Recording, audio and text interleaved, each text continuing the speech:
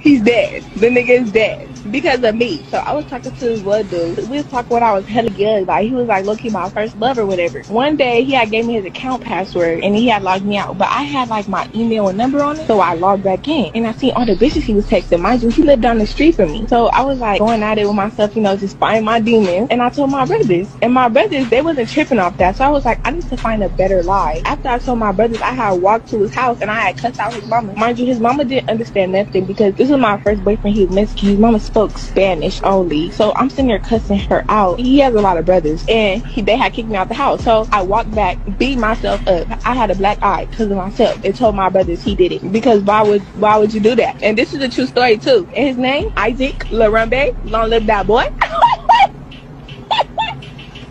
but nah. You told his brothers, and what did your brothers do? Oh, I told my brothers they had went back over there. His brothers going at it with my brothers, and boom. But free my brother though. Your brother shot him.